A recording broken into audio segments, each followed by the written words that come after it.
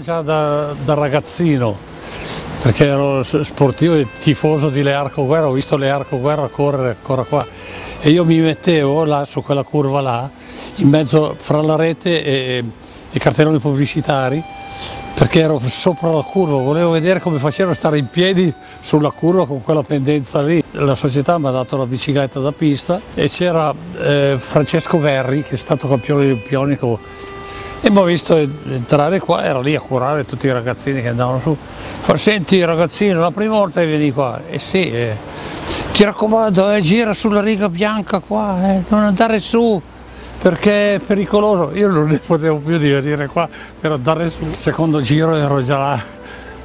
Ho trovato tutta la fila lì di professionisti che facevano mezzo giro per uno e io mi sono messo a ruota e ho tirato il mio pezzo anch'io. Quando sono sceso, primo Bergomi, che era campione d'Italia di velocità, oh non, te sai che ti hai un bel cul de pedal? e io non sapevo neanche cosa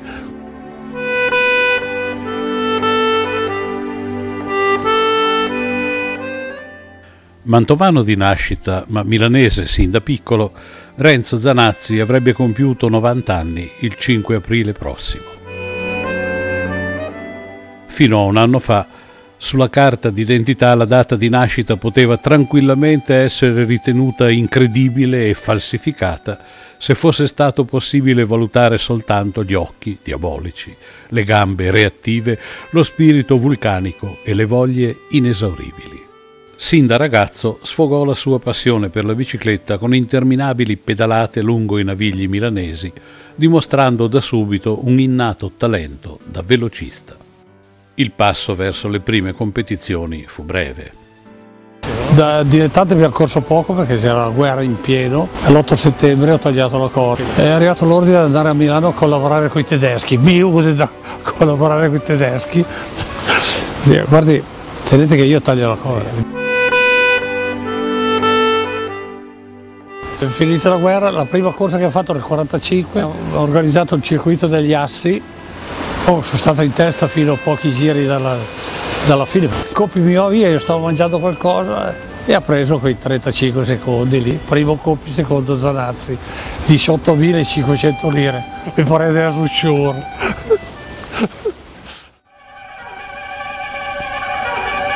Anche il nostro obiettivo aspetta il via di questo trentesimo Giro d'Italia. Girerà la pellicola, gireranno i pedali degli 84 campioni. Sedriano, l'auto di Cugnier, direttore della corsa, gareggia con la nostra Jeep. Aria d'Allegro Turismo, baci alle ragazze. L'idilio dura fino a Magenta. A Vercelli, ecco già solitari i quattro cavalieri dell'Apocalisse, Vicini, Fondi, Bevilacqua e Lambertini. I quattro dopo Cigliano diventeranno cinque. L'inseguimento di Zanazzi è stato la prima fanfara del giro. A Chivasso hanno già 4 minuti di vantaggio e più ne prendono sulla salita di valore. Prima sottrazione, appiedato Bevilacqua, affiaccato Lambertini, i 5 si ridurranno a 3 e Zanazzi li guida per Castelnuovo Don Bosco.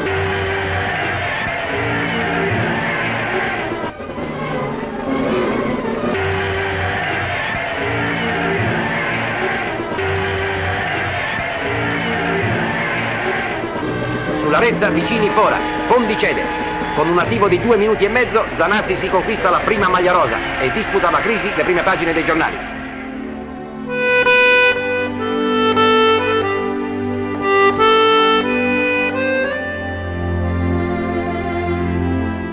Mi ha preso la Legnano per passare professionista nel 46 ha il contratto 5.000 lire al mese prima di uscire il Poesi mi fa oi fieu in milanese Ricordate che se volete da forte, ricordate che se volete andare forte, bisogna sciulare no.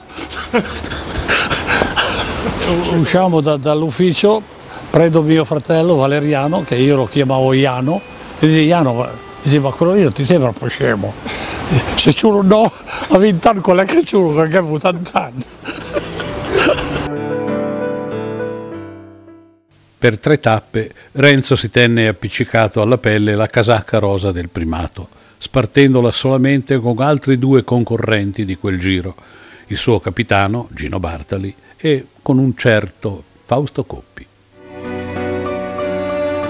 Non riuscì a emulare le imprese di quei compagni in rosa, ma con loro divise strade impossibili, fatiche e cocenti dolori familiari. Bartali perse il fratello minore Giulio, Fausto Serse e Renzo il più giovane Valeriano.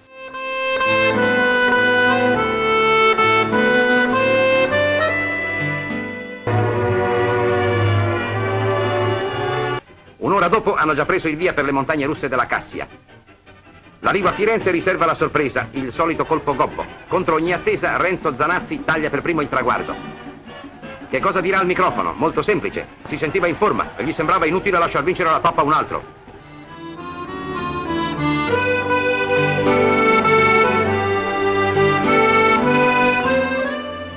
E il Bartali, no, sono troppo giovani, non hanno esperienza. Se non c'ero io subito il primo Giro d'Italia, la seconda tappa, a Forato eravamo in cima alla salita. Io ero là, l'unico della Legnano ero con Bartali, Bartali fora e io sono saltato giù, ho tirato giù la mia ruota, ho tirato giù la sua, l'ho messo sotto, l'ho messo su, l'ho spinto via e è rientrato subito. E ha vinto il Giro d'Italia anche grazie a quello. Il suo ciclismo era quello avventuroso degli anni 40, quello di Bartali e Coppi. Gregario di Bartali nella Legnano, Gregario di Coppi in Nazionale, Gregario di Magni nella Ganna. Eppure anarchico, ribelle, libero, sempre attaccante, cattivo, esplosivo, ostinatamente diretto, schietto, vero.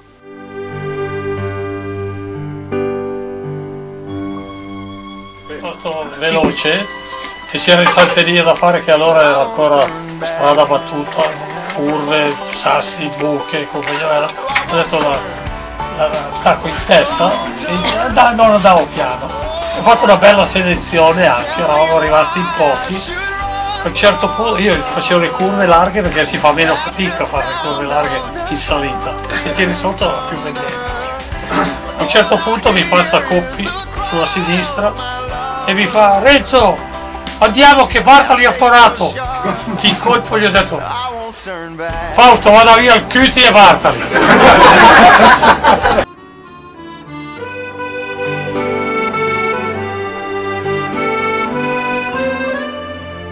Grande trascinatore nel ciclismo in tutte le sue forme, su sterrato, asfalto, prati, pista. Poi allenatore, dirigente, organizzatore, tecnico. Infine cantastorie, testimone di un'epoca ormai quasi dimenticata.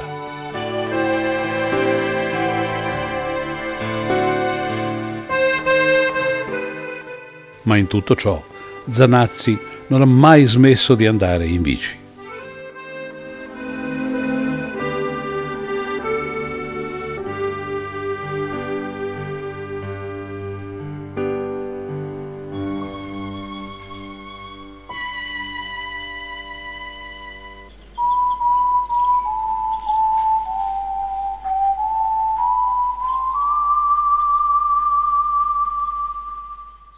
Renzo ci mancherà lungo i navigli, fra le risaie, in quelle stradine silenziose che solo lui conosceva. Ogni pedalata era una lezione, ogni curva un ripasso, ogni sguardo una battuta, ogni giornata una tappa.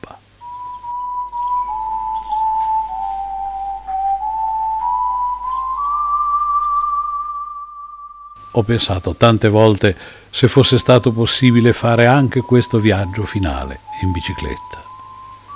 Da qui non ti posso dire niente.